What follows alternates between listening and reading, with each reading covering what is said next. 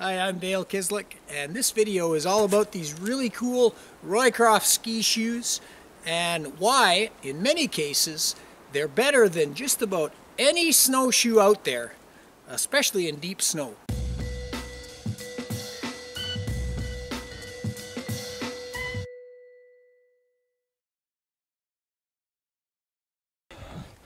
Here we are at the Karamat course, 2018 winter course. And we have uh, 15 students, a uh, handful of instructors. We built a Mors Kochanski igloo, which is in the camera screen right now. Next to that, snow trench shelter number one, snow trench shelter number two, and moving along to our Quincy. And we have a good depth of snow to do a little bit of a snowshoe video here. And coming into view now, we have a series of snowshoes. So I'm going to zoom in and we're going to go from small to big. And as I zoom in, we're starting with your modern snowshoes right there, 30 inch snowshoes. Uh, we have three sets of moderns. Then we have something a little bit bigger, 12 by about 36 or I think 12 by 36 military magnesium snowshoes. Then we get into the Ojibwe snowshoes with the pointed tips. Uh, those ones are 12 by, what's the size of those, Rob? 12 by what? 12 by 60. 12 by 60. Then we get into Lure of the North do-it-yourself kit, and those are 16 by 48 Huron style. And then we have Karamat Special, the Roycraft ski shoe right there. Handmade emergency ski shoe, uh, quickly made. And right after that, a pair of bear paws. So we're going to just show the depth of uh, uh, the flotation and how much we sink as we uh, walk these. Everybody go ahead, put on your snowshoes. All right, so we'll give them a second. We're going to get them all in, and they're going to walk towards us, and we'll see the different depths that we sink. And right at the beginning here, in the red jacket, we have Mr. John MacArthur, and he's going to walk with no snowshoes. And so now you can see how deep we are. There we go. That's the depth that we're looking at. Nice. So he's thigh deep in the snow. And the other fellows are getting ready. We'll have everybody just line up there. Nice. John's going to come over and do some filming as well. Awesome. All right, Cedric, let's get a start on our modern snowshoes.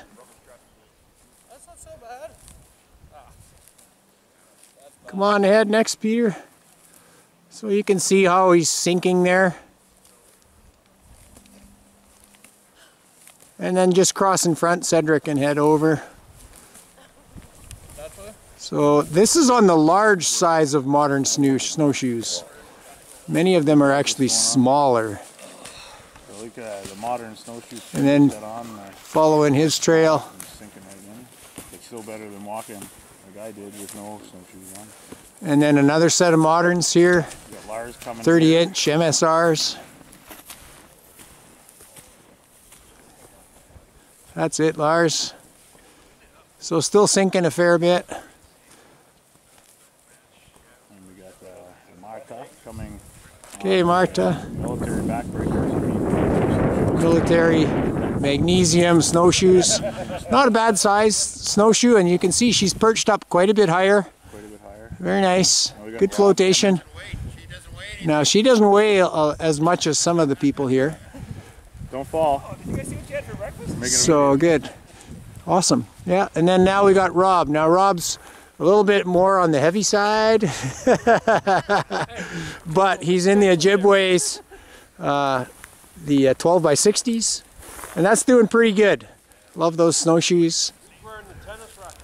Yep. Nice. Not too bad. Yeah, looking real good there. Awesome. And then we have Mateus, and he's uh, in the largest of the, the Huron style here that are um, uh, 16 by 48s. Pretty good. He's up pretty high on the top there. Then we switch over to our Roycraft special here, Roycraft emergency ski shoes that are handmade uh, and awesome. Look at that. He's maybe sinking. His ankles are still above the snow. And he's got a Roycraft sled that he's pulling right behind it. Testimony to the Roycraft snowshoe and how awesome it is as far as surface area.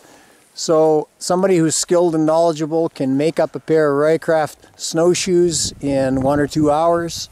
And look at the flotation that we had right there. Now I'll walk out with those. Awesome. Thank you everybody. So it comes down to surface area. We know that. Flotation, surface area equals better flotation.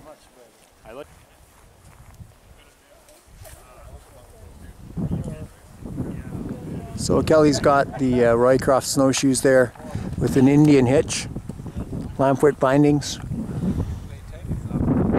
Very nice. So remember, that's thigh deep snow that he's walking on right now, and he's right up on the top. Testimony to uh, how incredible those ski shoes really are, and why everybody should come to Karamat and uh, come and meet us, have a cup of bush tea with us, and take in our course so you can make them too, a winter Karamat course.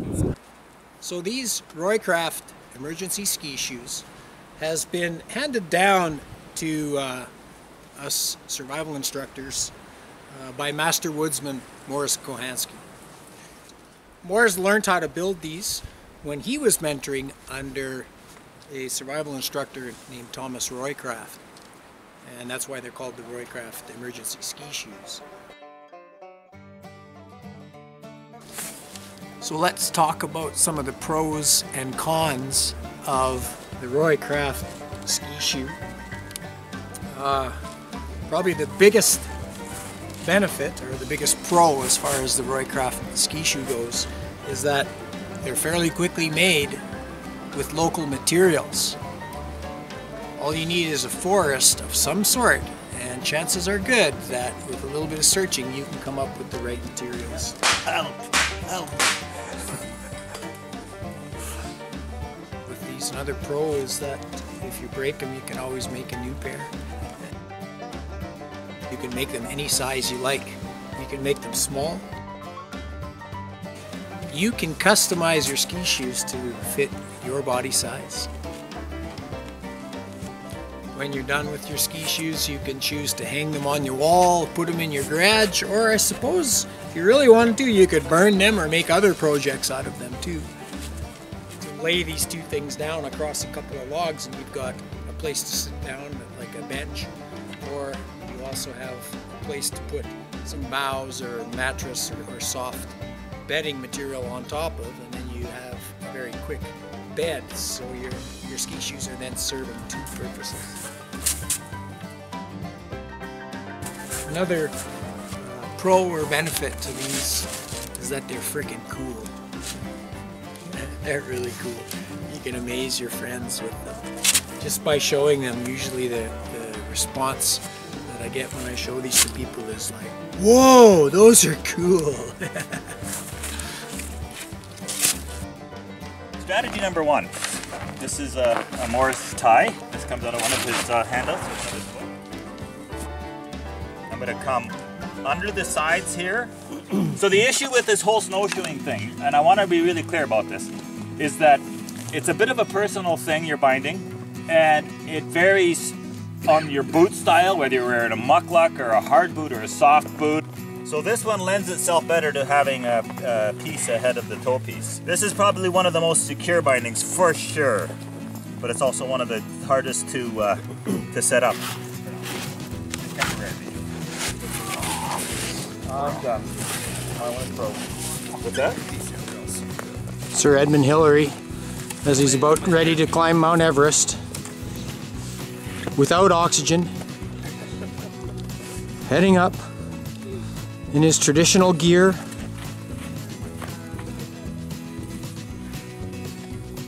Nice.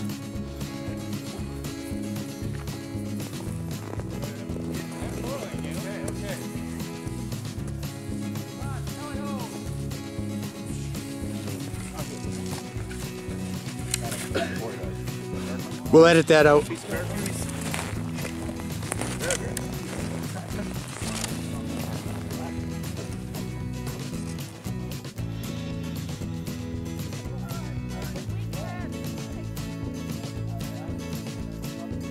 Where they really excel is in open, deep snow areas. There's just nothing that compares to how great the flotation is and how easy your mode of travel becomes when using these on deep snow.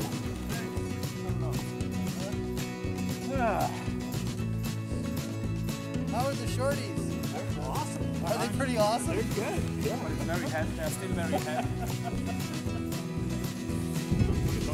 right there. yeah. Yeah. It's always disheartening when you get off your boat. You're at the same level when you step off. It's like nothing happens. It's off.